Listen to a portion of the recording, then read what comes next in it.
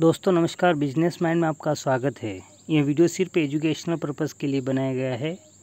यह पोर्टफोलियो मेरा खुद का नहीं है, ये मैं किसी और का है जो आपको बता रहा हूँ। आप देख सकते हैं एस के थ्रू कितना अच्छा रिटर्न मिला है। Thank you